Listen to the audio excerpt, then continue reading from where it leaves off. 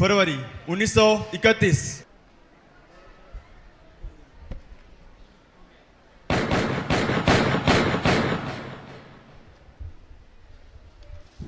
अच्छा हमने तुमको चारों तरफ़ से घेर लिया है। बाहर आ जाओ वरना मारे जाओगे। सीने पे दुश्मनों की गोली न सहेंगे। आज़ाद थे आज़ाद है आज़ाद ही रहेंगे।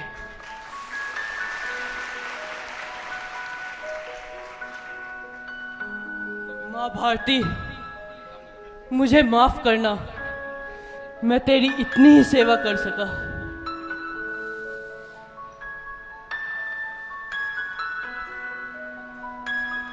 वंदे मातरम।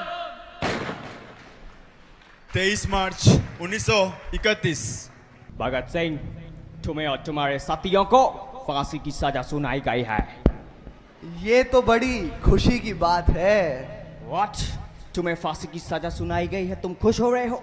ये एज तो नए नए ड्रीम्स पूरा करने की है।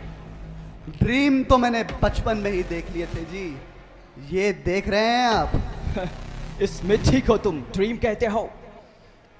ये मिट्टी जलियाँ वाले बाग की है। और इसमें खून मिला है मेरे देशवासियों का। इस मिट्टी की आज़ादी ही मेरा लक्ष्य है। तुम्हें क्या लगता है? तुम्हारी फांसी से इस देश को आज़ादी मिल जाएगी। नेवर जब बहता खून शहीदों का तकदीरें पलटी कौमों की। बस इसी तरह मुझे पूरा विश्वास है कि मेरी ये आज़ादी ये कुर्बानी जाया नहीं जाएगी। भगत सिंह तुम्हारी फांसी में ज़्यादा समय नहीं बचा है। कोई आखिरी ख्वाहिश? एनी लास्ट विश खून से खेलेंगे होली गर वतन मुश्किल में है। सरफरोशी की तमन्ना अब हमारे दिल में है। वक्त आने दे, बता देंगे तुझे, ए आसमां। हम अभी से क्या बताएँ, क्या हमारे दिल में है। इनकलाब जिंदाबाद।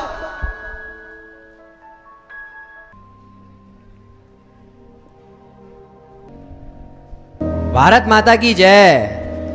अरे हाँ हाँ हम ठीक हैं। पहले तुम मुझे ये बताओ तुम्हारी भारत भंग सेना कुछ कर भी रही है या नहीं? नोट पे नोट आ रहे हैं। फिर भी ये सरकार अभी तक कैसे चल रही है? ये सिस्टम कैसे चल रहा है? अरे भैया थोड़ा हल्ला गुल्ला मचाओ थोड़ा किटर पिटर करो।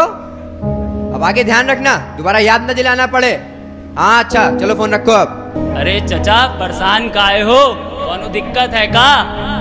अरे मत पूछो।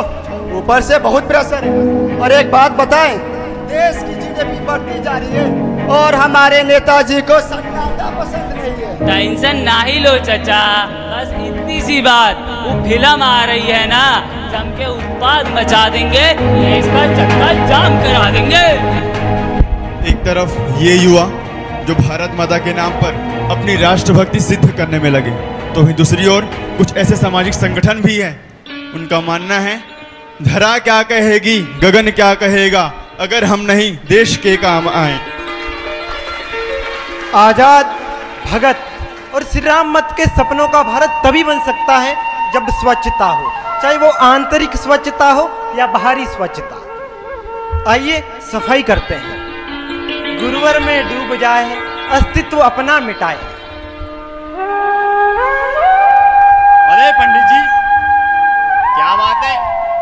तो बड़ा अच्छा दे लेते हैं आप। सब गुरुवर की कृपा है।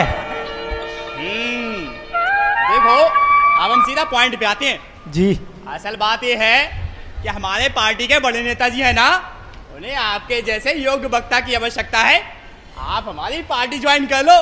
नेम फेम सब कुछ है इसमें भैया। अरे भाई साहब जी हम नाम के लिए काम नहीं करते हैं बल्कि काम के लिए काम करते हैं। अपने गुरुवर के लिए काम करते हैं। अरे अरे अरे अरे। अरे पंडित जी डेमो देने की कौन आवश्यकता नहीं है? अरे हम तो पहले से ही बहुत इम्प्रेस हैं आपसे। देखिए इसमें गाड़ी है बंगला है और पैसा तो इतना है कि चार पीढ़ियाँ आराम से खाएँगी। अरे भौकाल है भौकाल। लगता है गुरुवर हमारी परीक्षा ले रहे हैं। अरे कौन सी परीक्षा की बात कर रहे हो पंडित जी? परम पूज्य गुरुदेव ने कहा है जो कुछ कर गुजरे उस पर अहंकार न करें। वरन इतना ही सोचें कि हमारा चिंतन मनोयोग और श्रम कितनी ऊँची भूमिका निभा सका है कितनी बड़ी छलांग लगा सका है यही हमारी अग्नि परीक्षा है। जी हाँ भाई साहब इसी में हमारे गौरव और समर्पण की सार्थकता है। अपने साथियों की श्रद्धा व समता को घटने न दें। उसे दिन दुनी रात चौगनी बढ़ाते रहें। परम पूज्य गुरुदेव की जय! देशभक्ति सिर्फ़ भारत माँ की जयकार नहीं। केवल वंदे मातरम की हुंकार नहीं। केवल कट्टरता के नाम पर यह मारकाट जिसमें देश और जलते जज्बात। देशभक्ति तो मिलन सिखाती है। देश के हर व्यक्ति को भाई बनाती है। देशभक्ति फांसी के फंदे को गर्दन का मेल देती है। चट्टान बन हंसकर सीने पर गोली झेल लेती है। नारा दिया था देशभक्ति ने श्री राम सितारा दिया था। देशभक्ति आत्मनिर्माण है। ये दुनिया को पैगाम दो। भारत माता की जय।